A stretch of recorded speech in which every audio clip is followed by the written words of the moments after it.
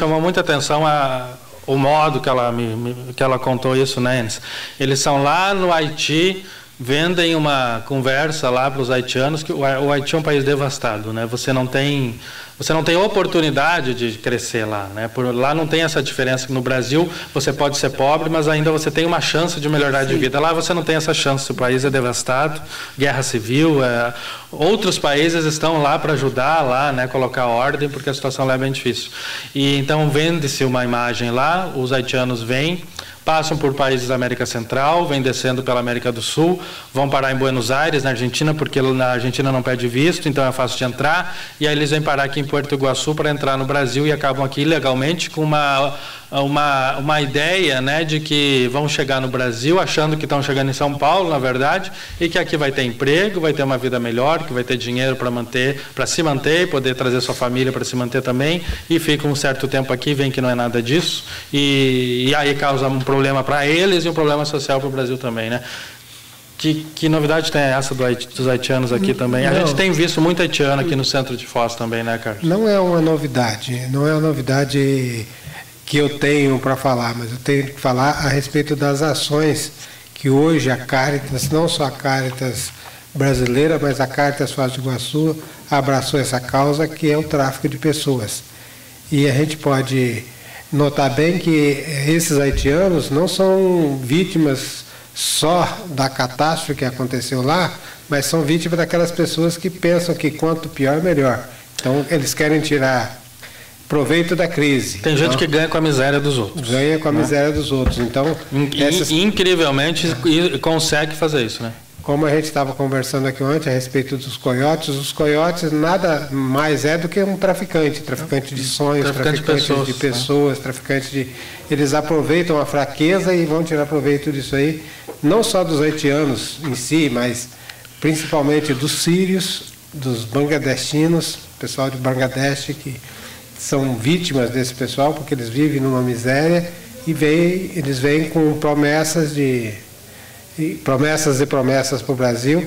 Então, nós da Caritas estamos empenhados exatamente nessa parte de alerta que é o tráfico de pessoas. Hoje nós estamos com a parceria muito boa com o pessoal da governação do Paraguai, do Ministério do Trato de Tráfico de Pessoas em Assunção é, você esteve aqui com a, a ministra, né? Isso. Paraguaia da. Ministra e, era a ministra das. Não, ela é, mulheres, ela né? é chefe do, do, do, Departamento de Mulher no Ministério da. Eh, do Ministério das, Mulheres. Mulher. Isso, do Paraguai. Ela, inclusive, vamos estar junto com eles agora no dia 14 e 15, lá no, no Palácio da Governação do, do, de Cidade do Leste. Vamos ter mais, continuar tratando desse assunto, porque é um assunto bem pertinente. Enes Mendes da Rocha. Irmã Terezinha, a, a cidade ela, ela recebe um número muito grande de, de pessoas procurando emprego, principalmente do Paraguai. É comum a gente ver, por exemplo, na construção civil, é, paraguaios trabalhando, né, prestando serviços. Em outro setor é exatamente restaurante, a gastronomia em geral, né? A gente tem muita gente trabalhando nesse setor. Esse pessoal, ele passa por uma triagem com a senhora lá? Nem todos. Nem todos. Nem todos. O é um trabalho de quê? Do consulado isso? Não, não. É, parece que assim um pouco é, convém para alguns empresários, se chama empresários ou os que administram as construções, ter gente que não seja regularmente, é, que eles não estejam regular com a sua situação, sua situação trabalhista. Que daí não, não tem carteira assinada, não pode exigir, né? E é uma série de coisas. E o Paraguai, por natureza, ele tem um pouco de medo. Se o patrão diz para ele assim: é, se você me denuncia, você vai ser preso, vai ser deportado, ele acredita. Mas não é assim. Então, nós estamos fazendo um trabalho muito intenso com o Ministério do Trabalho, indo nos locais onde a gente sabe que tem um número de, de paraguaios para ver qual é a situação. Se, se, se, eles estão trabalhando de forma irregular, ok. Então, muita gente passa por nós, a gente ajuda a organizar a documentação, faz o documento de permanência no Brasil, os que estão residindo, os que estão residindo na fronteira, eles têm direito a uma carteira de trabalho fronteiriça. Por quê? é, existe um acordo entre os países de fronteira. Então, Hernandárias, Porto Franco e Cidade Leste são cidades fronteiriças. Se eles residem, eles podem passar a fronteira todo dia trabalhando com carteira assinada, normalmente, como qualquer trabalhador. Os que já residem no Brasil, eles fazem o acordo Mercosul temporário, depois vão para permanente e continuam trabalhando de forma regular e ganhando seu salário.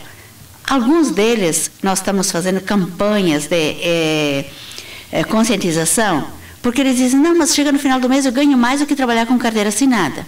Aí a gente tem que levar essa pessoa a tomar consciência que ela não tem nenhum direito. Eh, humanamente ela tem, mas quer dizer, na lei não.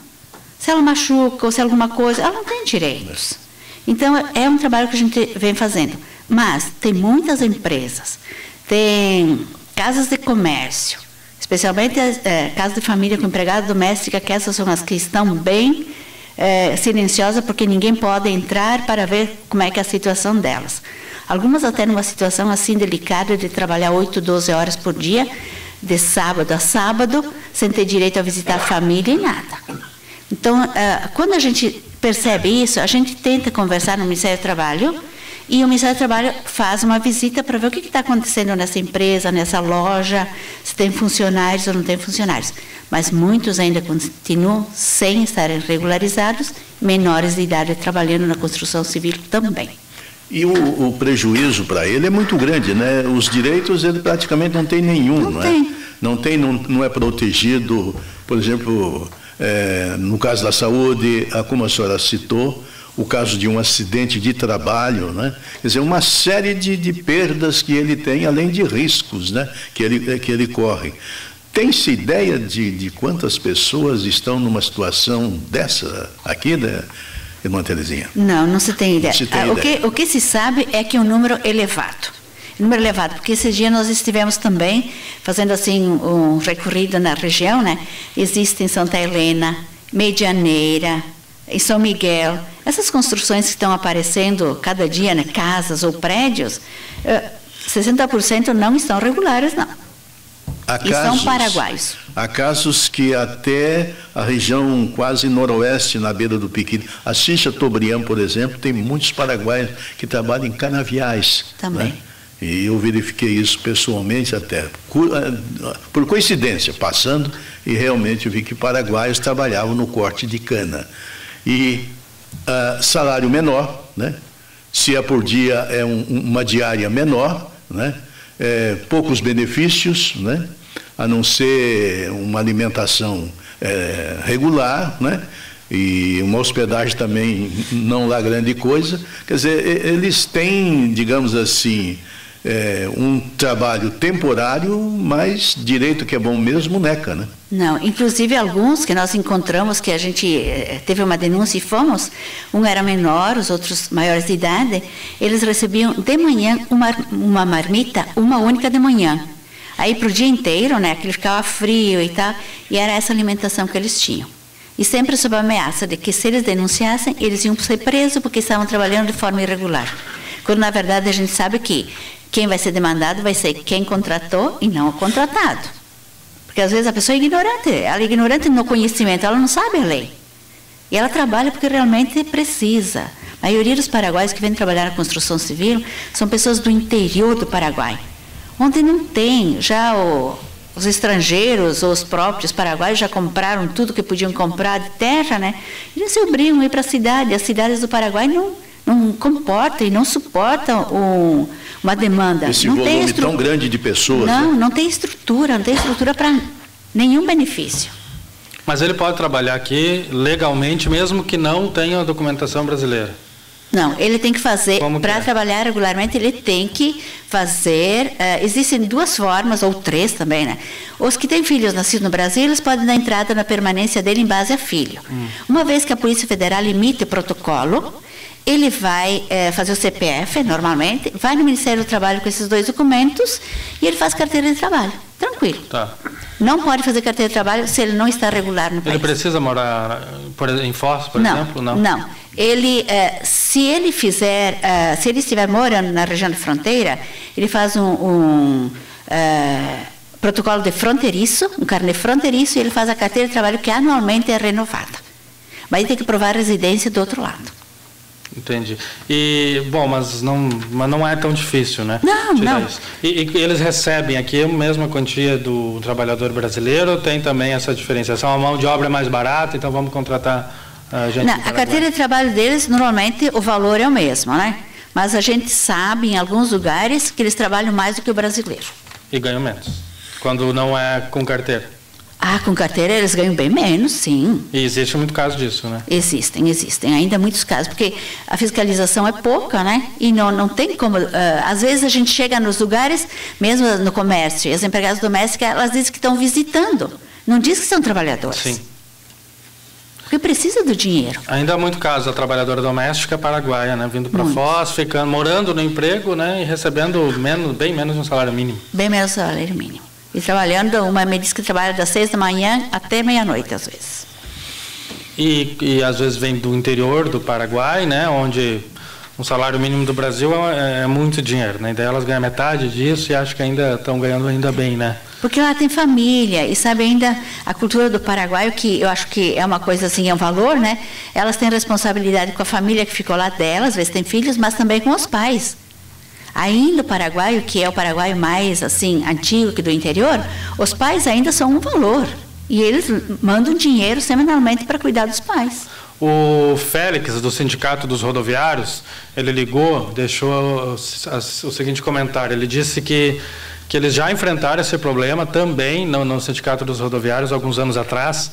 Ah, uma empresa de transporte intermunicipal, interestadual até internacional essa empresa aqui, uh, estava dispensando os motoristas brasileiros e, con e contratando motoristas paraguaios. Não tenho conhecimento, mas pode acontecer. É, o único motivo disso deve ser o salário mais baixo, né? Pode Carlos? acontecer, Porque... sim. Tranquilo. É, uma empresa bem conhecida que eu não vou dizer o nome. Bom, são 12h26, Enes. Bom, Terezinha, em tudo isso, né, é, é, é, anos atrás era, era comum a esse setor da senhora ser procurado por pessoas com problemas diversos, até com, falta de recursos para ir, para voltar, alimentação, hospedagem, né? aquele processo todo de ocupação. Logo depois que se fizeram as desapropriações do lago de Itaipu, né? Sim. Uh, a quantidade de pessoas que passavam daqui para o Paraguai era muito grande. Né? É, e, e, muitos iam desordenadamente e as coisas não, da, não, não, não, não dava certo e já programava o retorno para cá. Né? Eu digo isso porque a Rádio Cultura tinha programas específicos para exatamente divulgar a informação né, para é, aquelas regiões que estavam desenvolvendo na época, Los Cedrales, Santa Rita, Santa Teresa, Troncal 4 e tantas outras localidades. Né? É, eram programas que, inclusive, os prefeitos de lá, os chamados intendentes, eles mandavam a, a, a, os, os, as informações para cá. Quando ele queria atingir, por exemplo, uma melhoria numa estrada, uma vacinação, ele anunciava pela Rádio Cultura e não pelas emissoras do Paraguai, porque o que ele queria atingir é exatamente a massa brasileira que estava naquele município. Passado esse, esse, esse tempo, eu acho que hoje essas coisas não, não têm assim, digamos assim, tanta intensidade de pessoas procurando o setor para essas causas, né? Hoje? O, o, que nós temos hoje é mais para regularizar a situação a migratória. situação documental. É, mas também muitas pessoas procurando ajuda para regressar a alguns lugares do Brasil. Nós tivemos casos assim de, de famílias de Santa Catarina, especialmente no Rio Grande do Sul, que lá nos interiores ficou o vô e a avó e ficaram sozinhos, né? Então, os netos agora que nasceram no Paraguai, eles vão morar com esses avós. Então, eles precisam regularizar a situação deles, mas também precisam de dinheiro para passagem, porque muita gente saiu de lá sem nada. Uhum. Na outra administração, a gente tinha até uma forma de conseguir, através da Secretaria de Ciência Social, algumas passagens para esse povo viajar. Ultimamente, nós, da Prefeitura, nada. Não temos uma ajuda sequer. Nada, nada, nada. Então, a dificuldade é conseguir essas famílias. Então, o que, que a gente faz? Se a gente consegue que elas fiquem em algum albergue, em algum lugar, a gente tenta localizar a família no Rio Grande do Sul ou em outro estado, né? Eles compram a passagem, o dia da passagem comprada, eles embarcam e vão para a família. Certo. Porque não temos recursos. É muito difícil hoje a gente conseguir recursos para essas pessoas. É, dentro dessa observação que a irmã está falando, é muito importante a gente salientar que além da, dela hoje fazer esse trabalho pelo Ministério do Trabalho, ela também é pastoral do migrante. Então, ela tem esse carisma, ela pertence a, exatamente aos calabrinianos, e a pastoral do migrante hoje é que dá esse suporte para ela nesse sentido de o auxílio a quem necessita. Então, faz essa mobilização, Caritas, pastoral, as igrejas, para tentar essa ajuda. Ok. Dante. Ok, são 12 horas e 30 minutos, então quero agradecer a participação de vocês, tá? O José Carlos mais uma vez aqui. Uh, a, a, última conversa também foi muito boa, né? Com, a, com o pessoal da Itaipu e também do Ministério Paraguai das Mulheres, né? Falando do tráfico de pessoas, que tem a ver muito com, com o trabalho também da Irmã Terezinha na, na Central do Migrante, né? Que recebe ali... A nossa... A nossa é de, a nossa região aqui, né, é muito conturbada com essas coisas, né, irmã? Muito, muito. Então, assim, é, para destacar também para as pessoas que estão nos ouvindo, Casa do Migrante é um centro de orientação e encaminhamento. A gente não tem dinheiro, mas também a gente não deixa de atender as pessoas. E a gente quer dizer também que... E dá encaminhamento, não resolve ali, né? É, não, não resolve ali. Ah, a gente também quer dizer que, para as pessoas que elas não precisam de gestores para fazer o seu documento. Porque nós sabemos que existe muita gente fazendo gestoria e cobrando muito para eles. É. Nós gestionamos os documentos deles sem cobrar nada. Eles podem vir na casa do migrante, a gente orienta, a pessoa vai por si mesma. Porque a maioria que passa na casa do migrante, como foi dito antes também, né, é pessoas que não têm nenhum recurso. Já passaram por tudo, sobrou Casa do Migrante para ter a orientação. Qual é o telefone da Casa do Migrante? 9997-3331. Muito bem, faz sim. Irmã Terezinha, muito obrigado. A vocês, nós agradecemos. Carlos, obrigado mais uma vez. Eu que agradeço a oportunidade. 12h32, 19 graus, já voltamos.